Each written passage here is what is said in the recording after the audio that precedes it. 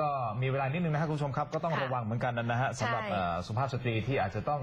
เดินทางในช่วงกลางคืน หรือว่าที่เปลี่ยวๆต้องเดินทางผ่านซอยเปลี่ยว หรือว่าขึ้นสะพานลอยค่ะ ต้องระวังตัวเลยนะฮะ อย่างสะพานลอยเนี่ยจริง ๆ โดยส่วนตัวเคยคิดว่ามันปลอดภัย เพราะว่าอืมมันสูงใช่ไหมฮะแล้วมันก็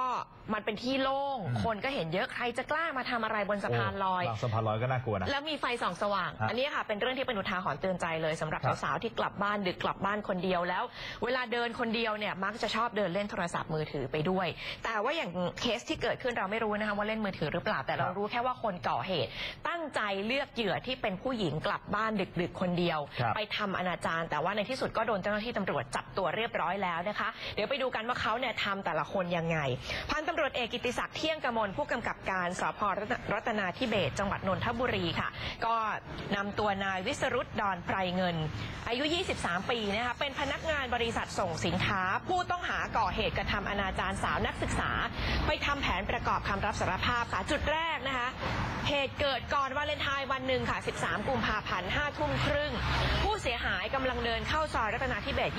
22 ผู้ต้องหาก็เดินตามแล้วใช้มือล็อกคอค่ะลาก เข้าไปหลังตึก และกระทำอนาจารด้วยการจับหน้าอกครับโชคดีว่าจังหวะนั้นมีรถยนต์ผ่านมา น้องนักศึกษาเนี่ยก็เลยร้องขอความช่วยเหลือ ก็ทำให้ผู้ต้องหาตกใจวิ่งหนีไปนะคะ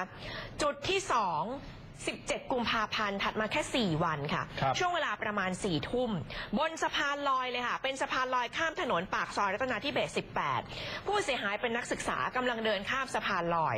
ผู้ต้องหาก็คือนายวิสรุตเนี่ยเดินสวนขึ้นไปแล้วล็อกคอเลยค่ะ ครับ ล็อกคอเสร็จจับหน้าอกแล้วก็อวัยวะเพศแล้ววิ่งหนีไป